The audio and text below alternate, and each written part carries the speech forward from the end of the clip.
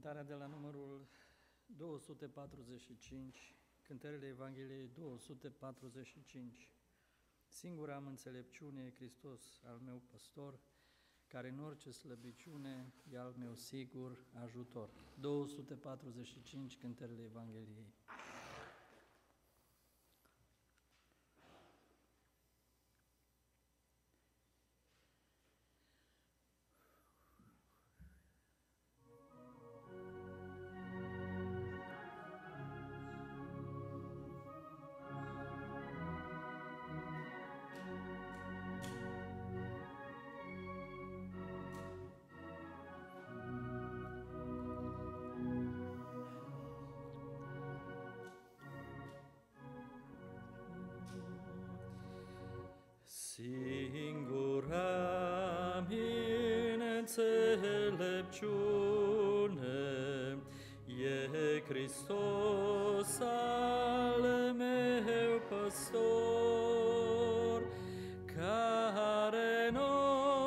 Orice slăbiciune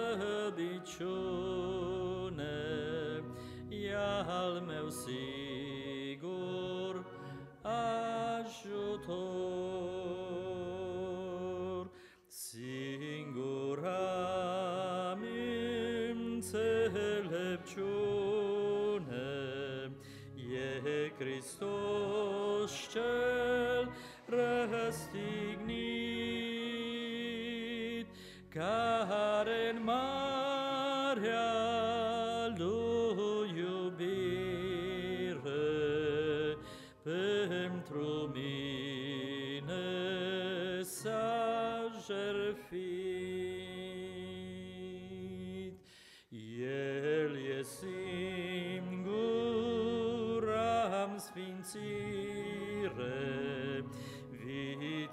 care-s altoit. Am cu el împărtășire, de păcat sunt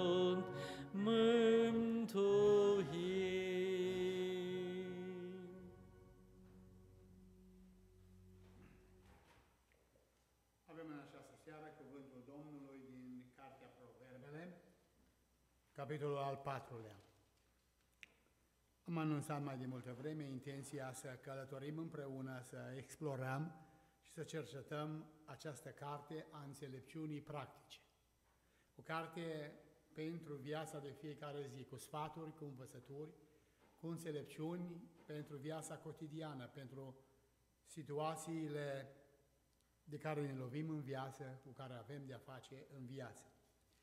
Am avut câteva predici, am avut câteva momente de poposire în această carte, am văzut cine este autorul sau scriitorul uman al acestei cărți. Sigur că autorul este Duhul Sfânt.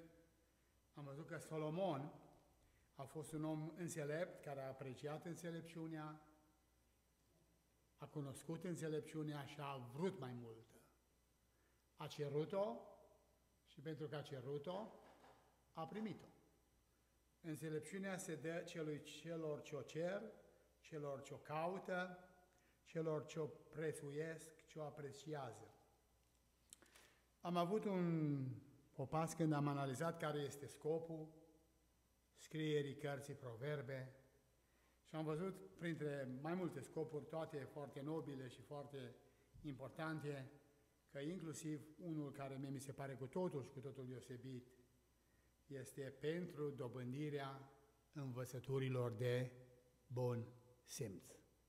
Bun simț, common sense, cum spun americanii, numai că bunul simț sau acest common sense nu e chiar așa de, de comun. Și parcă e mai rar, parcă e o valoare tot mai, tot mai rară. Și poate și datorită faptului că tot mai rar și mai puțin se citește Cuvântul lui Dumnezeu în general și Cartea Proverbe este cartea care produce învățăturile, conduita,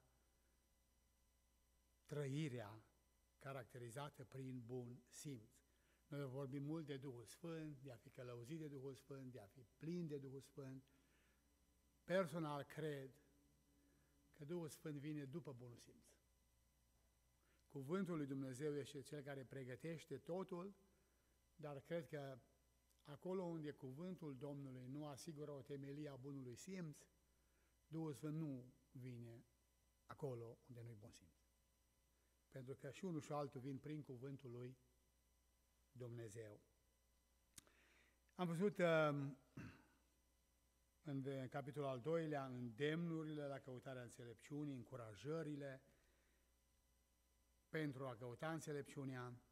În capitolul 3 ne-am uitat la foloasele sau beneficiile înțelepciunii, a fricii de Domnul și ajungem acum în această seară în popasul nostru, așa ca vineri seara, citim mai mult, predicăm cât ne permite timpul și oboseala noastră.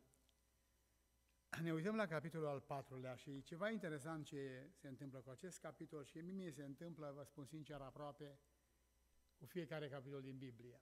Când citesc, am un highlighter de o culoare, galben, verde, albastru și citesc și subliniez ce mi se pare important, ce mă izbește, ce, ce îmi vorbește așa foarte puternic. Și apoi, ziua următoare sau într-o altă zi, când recitesc acest capitol, iau un alt highlighter de altă culoare, un alt marker și când citesc, subliniez din nou ce mă impresionează. Și nu știu dacă ați făcut experimentul, dacă citesc de 3-4 ori capitolul, ajunge să fie subliniat în întregime. Noi câteodată spunem că ăsta e cuvântul de aur sau ăstea sunt cuvintele de aur, dar toată Scriptura e numai cuvinte de aur, de mare valoare. Așa că în seara aceasta ne vom referi la câteva din versete, dar dacă vom mai citi încă o dată capitolul, vom mai cugeta la el, vom vedea că și altele ne vorbesc și de fapt fiecare verset este un verset de aur. Capitolul 4 începe cu o chemare la ascultare. Ascultați fiilor învățătura, învățătura unui tată. Eu vă dau sfaturi bune, nu le pădați învățătura mea. Sfaturi și învățătură. E o chemare care nu e foarte bine primită astăzi. Fiecare vrea să facă ce vrea el, ce îi place lui, cum îl taie capul. Și noi, de cele mai multe ori, suntem așa pornirea firească, naturală. Lasă-mă tu poate la cap. Nu-mi tot spune, nu mă tot sfătui, nu-mi tot predica. A, predicai pentru ciorci, pentru biserică. Și cuvântul ne cheamă la învățătură, la ascultare și la sfaturile bune care sunt în cuvântul lui Dumnezeu. Versetul 4 ne atenționează și ne spune, păstrează bine în inima ta cuvintele mele. Noi știm că informația se păstrează în minte, se păstrează în creier. Aici înregistrăm informația, aici o stocăm, o ținem într-un storage, o accesăm când e nevoie, ne folosim de ea, Totuși cuvântul spune, păstrează-o bine în, păstrează bine în inima ta cuvintele mele. Care e sublinierea aici sau care e mesajul? Lucrurile care le învățăm doar cu mintea, doar abstract, le și uităm mai repede și e mai puțin probabil că le vom pune în aplicare, le vom împlini, le vom trăi, și vor crea un impact major și de lungă durată în viața noastră. Dacă ceva nu te mișcă, nu te impresionează, nu te încălzește, nu-ți ridică un pic tensiunea, să zic așa, dacă cuvântul nu-ți place să-l iubești, să te îndrăgostești de el, dacă nu ai, ca să zic așa, o atitudine afectivă, sentimentală față de cuvânt, să-ți fie drag să-l auzi, să-ți fie drag să-l cânți, să-l reciți, să-l, să-l memorezi, să-l, să-l, să-l spui așa tăcut când conduci mașina. Deci dacă nu prinde și partea asta sentimentală, afectivă, poți să fii un foarte bun memorator al cuvântului. Chiar poate un foarte bun exeget, dar nu are un impact asupra vieții tale. Îl știi, știi mai mult ca alții, ești mai învățat, mai erudit. Scopul învățării cuvântului lui Dumnezeu nu-i doar ca să știi mai mult. Știți istoria și pilda cu robul care știe voia stăpânului și, deși o știe, nu o face. Până la urmă, care e avantajul lui? Niciunul. Pentru că dacă o știe mai bine ca altul, ar trebui să o, să o facă mai bine. Dar pentru că o știe numai și nu o împlinește mai bine, e bătut cu mai multe lovituri și primește o pedeapsă mai mare. Pentru că știe voia Domnului, dar nu are voia Domnului în, în inima lui. Nu e involvat sau implicat afectiv, sentimental. Păstrează bine în inima ta cuvintele mele. Fii îndrăgostit de ele. Păzește învățăturile mele și vei trăi. Ele sunt ceva de valoare, sunt ceva de preț. Păzește-le, păstrează-le. nu e așa când avem ceva de preț, avem un seif pentru el, avem un case, nu oriunde în casă. Lucrurile de valoare se țin într-un loc anume și cuvântul lui Dumnezeu trebuie păstrat, nu doar în minte, ci și în inimă, și în minte și în inimă. Dobândește înțelepciunea, dobândește priceperea, preocupă-te de aceasta. Nu uita cuvintele gurii mele și nu te abate de la ele. Nu le strângem doar ca să le știm. Strâng cuvântul tău în inima mea, nu ca să știu mai multe versete ca tine sau tu ca mine, ca să nu păcătuiesc împotriva ta, Dumnezeule. Nu părăsi înțelepciunea asta care vine din cuvântul lui Dumnezeu. Ea te va păzi. Iubește-o. Iubește-o. Nu doar cunoaște-o. Nu doar învață-o. Nu doar discută despre ea, ci iubește-o. Să-ți fie drag să auzi, să-ți placă să vorbești de ea, să ți se împărtășească, dar să-ți placă să o pui în practică. Nu o părăsi, ea te va păzi, iubește-o și te va ocrăti, înalță-o și te va înălța. Cuvântul lui Dumnezeu e dătător de binecuvântare. Înțelepciunea care vine din cuvântul lui Dumnezeu ne înalță dacă o înălțăm și ne cinstește dacă o cinstim și ne binecuvintează dacă o binecuvântăm. Dacă însă alegem să mergem după înțelepciunea noastră, după ce știm noi, după experiențele noastre, după ce am învățat, poate din familia noastră, de la prieteni, din cărți, de la televizor, eu știu de unde, fiecare de undeva acumulăm. Suntem ca și un burete care acumulează. Atunci, rezultatele vin de acolo. Dar când căutăm, iubim înțelepciunea din Cuvântul lui Dumnezeu, când o cinstim, ea ne cinstește, când, ne înalță, când o înălțăm, ne înalță, când o trăim, ea ne binecuvântează. Ea va fi slava ta dacă o vei îmbrățișa, dacă o vei îmbrățișa. Să o iubești, să o îmbrățișezi, observați, e o relație afectivă, sentimentală cu înțelepciunea, nu numai intelectuală, cerebrală, seacă, rece. Ea îți va pune pe cap o cunună plăcută, te va împodobi cu o, cu o strălucită cunună împărătească. Ascultă, fiule, primește cuvintele mele. Cum să le primești dacă nu le citești, dacă nu cugeți la ele, dacă nu meditezi la ele, dacă nu te preocupă? Ascultă, fiule, primește cuvintele mele și anii vieții tale se vor înmulți. Eu îți arăt calea înțelepciunii și te, te povățuiesc pe cărările neprihănirii. Înțelepciunea lui Dumnezeu și neprihănirea merg mână în mână. Se confirmă una pe celălalt și se susțin. Și Iacov spune foarte clar, foarte detaliat, în amănunt, căci înțelepciunea care vine de sus este curată, e neprihănită, este fără pată, fără păcat, plină de roade bune.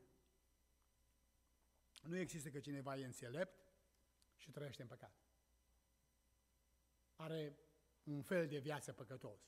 Da, se întâmplă ca și înțeleptul să greșească sau să păcătească, e cu totul altceva un accident sau un incident și cu totul altceva trăirea în păcat. Eu îți arăt calea înțelepciunii, te povățuiesc pe cărările neprihănirii. Când vei umbla, pasul nu va fi stânjenit și când vei alerga, nu te vei potigni. Ține învățătura, nu o lăsa din inima ta, păstrează-o, că și ea este viața ta. Un îndemn foarte puternic. Ține învățătura, nu o lăsa din inima ta. Când o lași din inima ta, mai degrabă sau mai târziu va pleca și din mintea ta. Dacă nu iubești cuvântul lui Dumnezeu și nu-l ai în inimă, mai degrabă sau mai târziu nu vei avea nici în mintea. Și aș vrea să privim la versetul 14 și 15. Dacă ar fi să fac o lecție de școală biblică din acest text, aș pune două cuvinte de aur. Dar toate sunt de aur. Și uitați-vă la acest cuvânt. Nu intra pe cărarea celor răi și nu umbla pe calea celor nelegiuiți. Ferește-te de ea, nu trece pe ea, ocolește-o și treci înainte. Versetul 14. Nu intra pe cărarea celor răi și nu umbla pe calea celor nelegiuiți. Unde ați mai auzit asta? Mai știm de undeva asta. Psalmul 1 cu 1. Și foarte important, e aproape ad litera. Aproape că, am zice Solomon, citează pe David.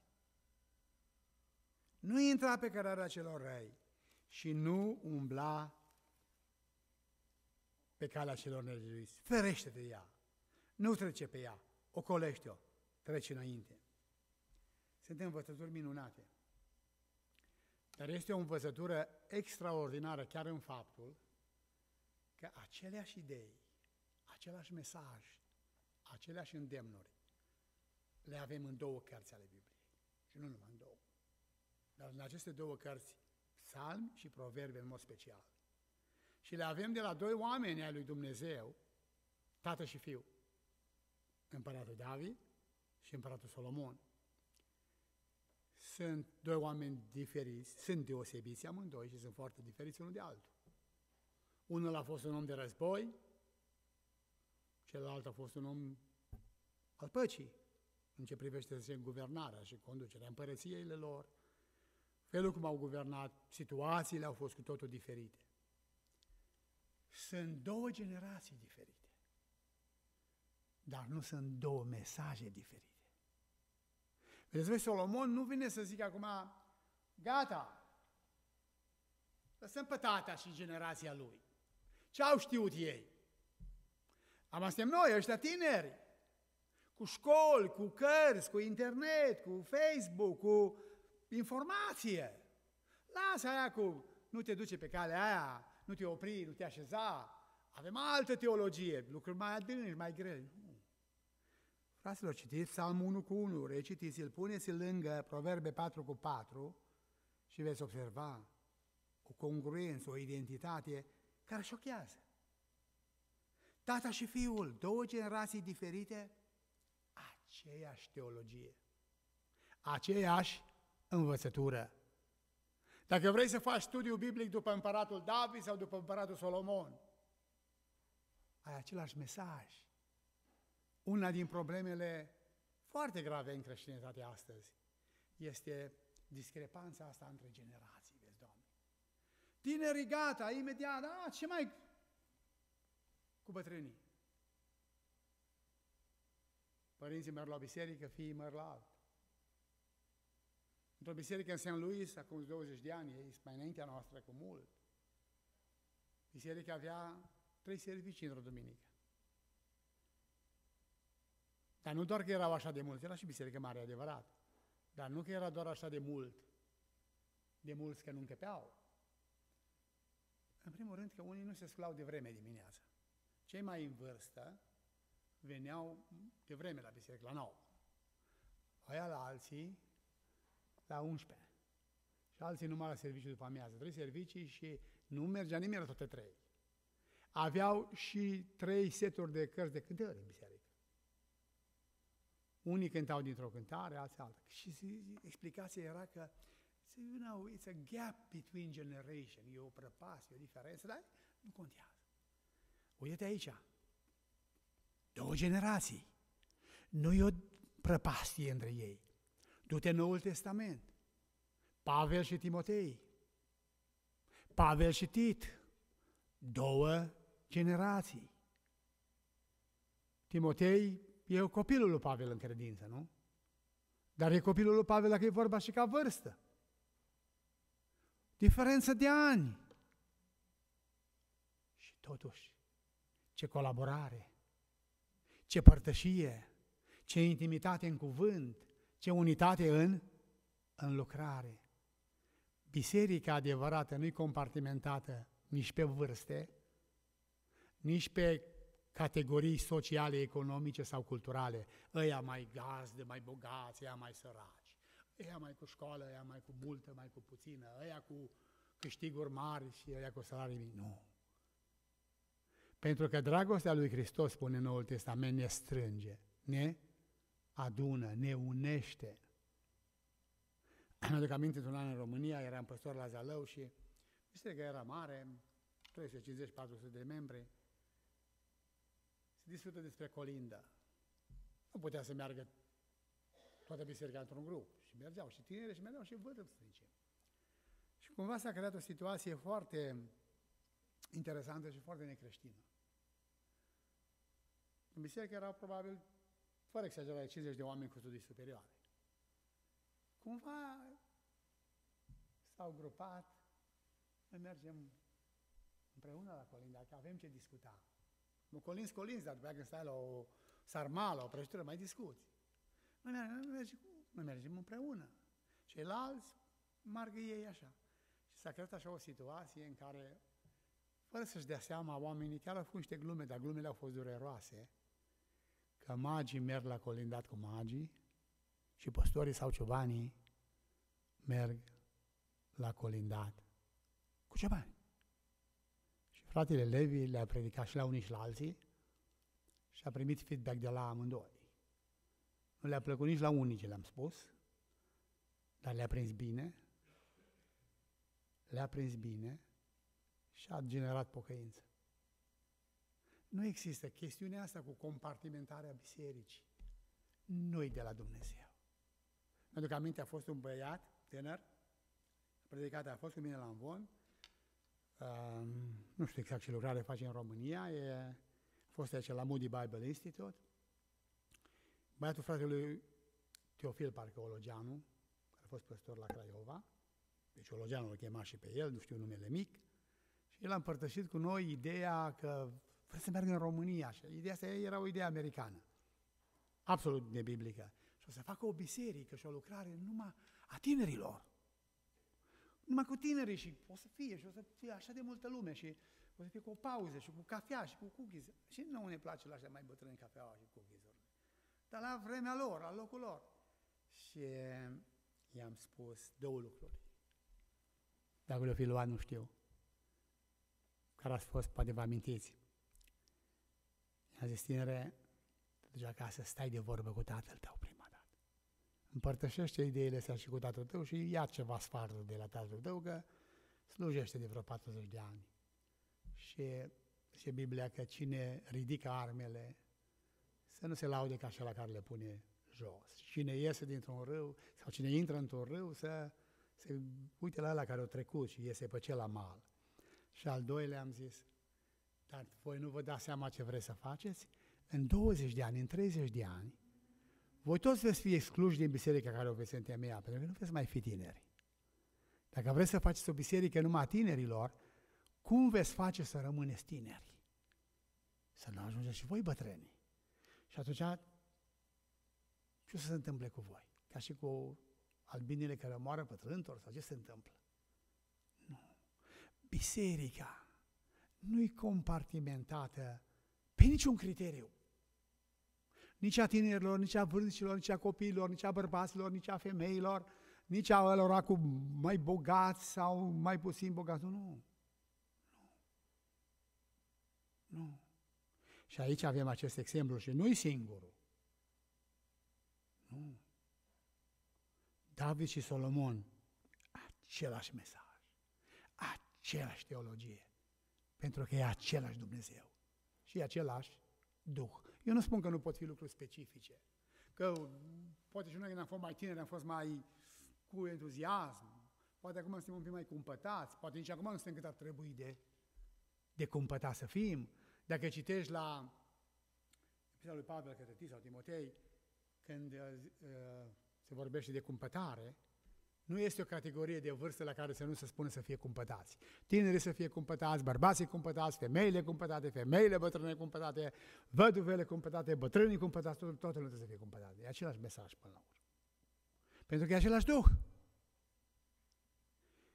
M-a frapat așa într-un mod plăcut identitatea asta. Proverbe 4, 14 și 15, Proverbe, uh, Psalmul 1, 1 și 2. Două generații diferite, doi oameni, deși tată și fiu, așa de diferiți. Și totuși același mesaj și aceeași teologie. Mi-a mers gândul imediat la Pavel, la Timotei, la Tit. Două generații diferite. Și totuși, același suflet, aceeași dragoste pentru cuvântul lui Dumnezeu. Ferește-te de ea, de calea celor păcătoși, nu trece pe ea, ocolește-o și treci înainte. Că cei nu dor dacă n-au făcut rău. Aici este cei care trăiesc în păcat și care au păcatul ca un standard, ca o normă de viață. Nu e vorba de oameni care păcătuiesc din greșeală, din slăbiciune, din neputință, din neînfrânare chiar, din accident, nu. Ci e vorba de oameni care au ales păcatul ca un fel de a fi, ca o filozofie de viață, ca o normă de viață. Le pierde somnul dacă nu fac pe cineva să cadă, nu pot dormi dacă n-am făcut ceva rău. Mănâncă pâine nelegiuită.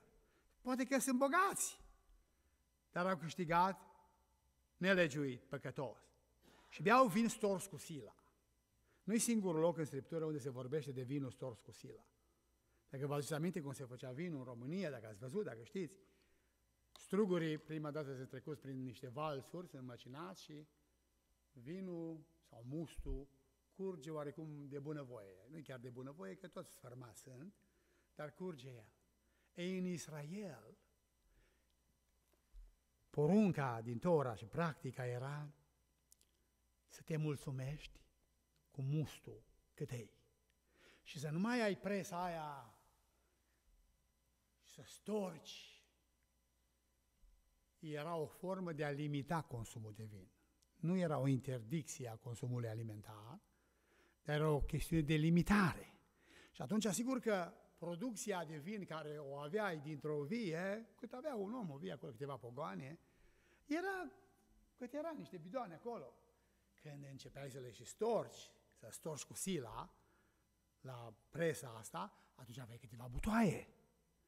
Nu mai vorbim de tăria alcoolului și așa mai departe.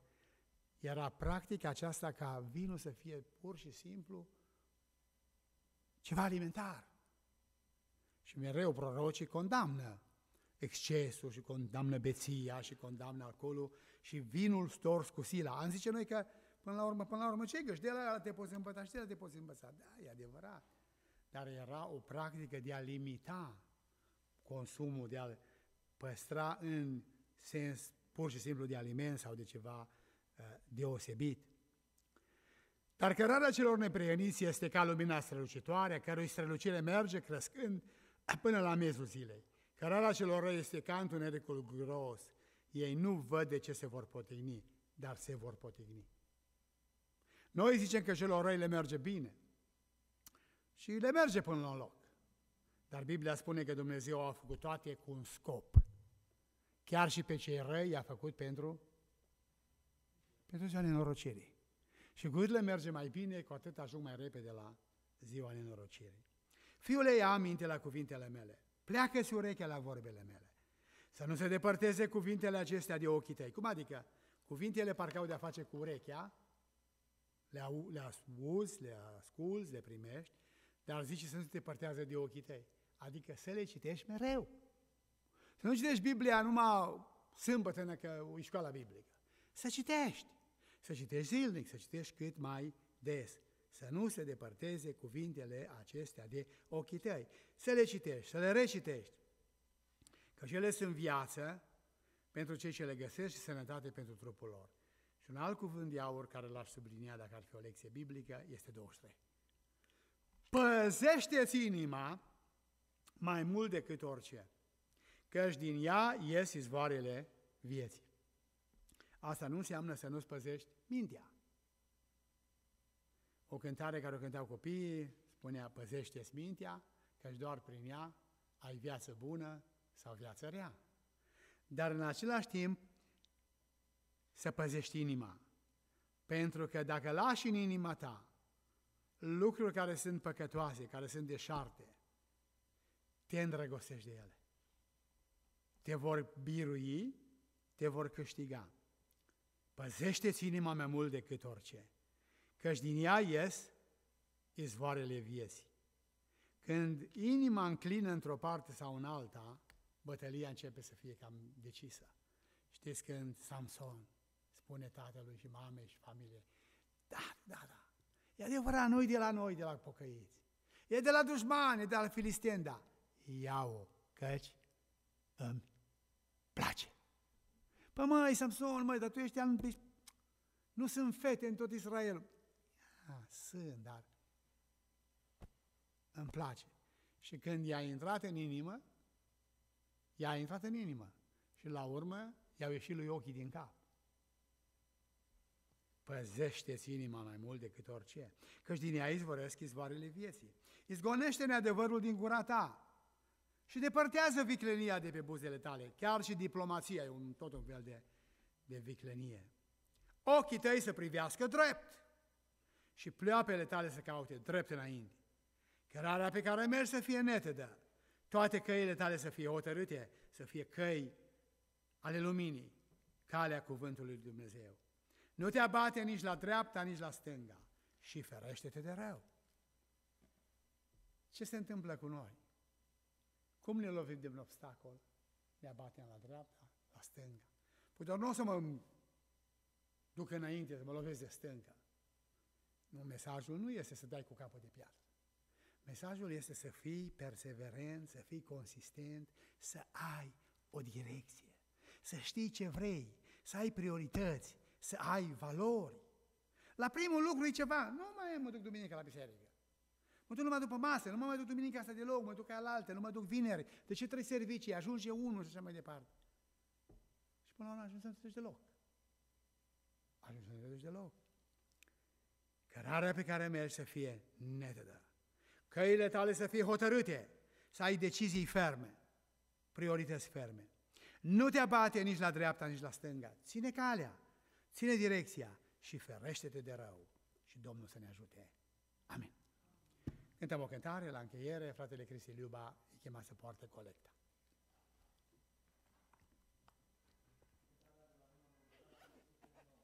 Cântărele Evangheliei 709. Inimă nouă în dar am primit, care Iisus mie mi-a dăruit.